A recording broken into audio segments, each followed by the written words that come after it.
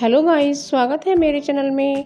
और आज मैं कुछ आपके लिए ऐसे किचन टिप्स लेकर आई हूँ, जो आपके बहुत ही यूज़फुल होने वाले हैं। तो आप मेरे वीडियो को पूरा वॉच कीजिएगा।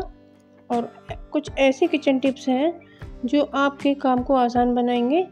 और आपकी जो परेशानियाँ हैं घर और किचन से लेकर, वो सभी सॉल्व होने वाली हैं। इसलिए आप मेरी वीडियो को पूरा देखिएगा और मेरा चैनल अभी तक सब्सक्राइब नहीं किया है तो उसे सब्सक्राइब कीजिएगा तो मेरी ये पहली ट्रिक है टॉफ़ी के खाली डब्बे को लेकर। जब हमारी टॉफ़ी थोड़ी रह जाती है और डिब्बा बच जाता है तो इस डब्बे को बिल्कुल ना फेंकें। तो ये जो हमारा सामान होता है तो इस तरह का जैसे रबर बैंड है या ब्रासलेट है या फिर क्लेचर है तो इस तरह के ये जो सामान है हमारे इसमें रखे जा सकते हैं।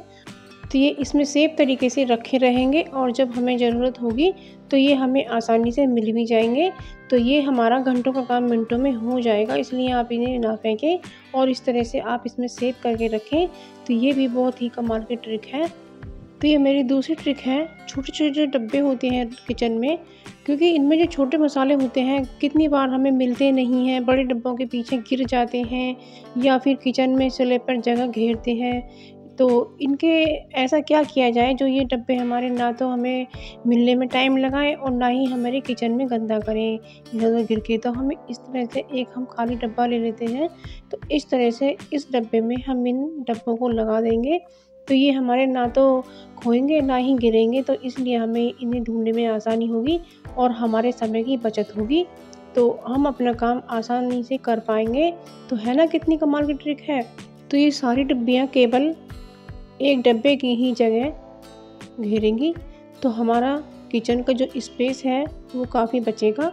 अब तीसरी ट्रिक है हमारी ये जो खाली पैकेट होते हैं, किसी भी सामान के, हम थोड़ा सा निकाल लेते हैं और रख देते हैं तो इनमें नमी आ जाती है और यह बिखर जाते हैं ये। तो इसलिए इस तरह से मोड़कर किसी डब्बे में रख दें। तो ये अच्छी ट्रिक है तो आप इसे ज़रूर फॉलो करें। तो ये अगली ट्रिक है हमारे छोटे डब्बे को लेकर। तो ये हमारी जो छोटी सी डब्बी निकल आती है इस तरह की तो आप इन्हें बिल्कुल ना फेंकें और इस तरह से आप अपने किचन में इस तरह से लेकर इस पर टेप लगा दें तो ये आपके लिए पेंसिल होल्डर बन जाएगा। यानी कि पेन होल्डर बन जाएगा तो इसमें आप अपने सामान लिखने के लिए पेन रख पाएँगे और आपको मिलने में भी आसानी होगी। जब भी आपका कोई सामान ख़त्म हो तो इससे जल्दी से लिख कर नोट कर दें तो फिर आपको सोचना नहीं पड़ेगा। और ये अगली ट्रिक है मेरी झाड़ू को लेकर। जब हम कोई फूल झाड़ू नहीं लेकर आते हैं तो उसके अंदर बहुत ही सारा गंदगी जो होती है वो निकल कर आती है। तो पुरानी झाड़ू के डंडे से इस तरह से उसे पन्नी में ही इस तरह से कूट दें। और जो इसमें जो गंदगी हमारे सारे घर में हो जाती है, हमारी बहुत मेहनत बढ़ जाती है। तो हमें उसके झाड़ू लगाने के बाद जब शाम को या दोपहर को झाड़ू लगाते हैं तो उसके बाद से फिर से हमें पोछे का काम बढ़ जाता है। तो इसलिए इसकी सारी गंदगी अभी झाड़ दें। देखिएगा फ्रेंड्स, इसकी जो जो ये बारीक सा गंदगी निकलती है, ये हमने सारी गंदगी एक साथ ही हमने निकाल ली है।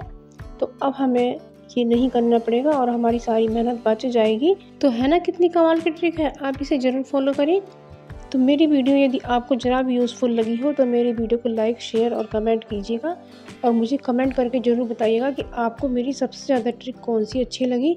और आप मेरी वीडियो को लाइक ज़रूर कीजिएगा, क्योंकि जब आप कोई लाइक करते हैं तो मुझे बहुत अच्छा लगता है और मेरी वीडियो बनाने के लिए थोड़ी हिम्मत और बन जाती है। और चैनल को ज़रूर से सब्सक्राइब कीजिएगा। तो आज के लिए बस इतना ही। मिलते हैं एक नई वीडियो के साथ में। तब तक के लिए bye thank you for watching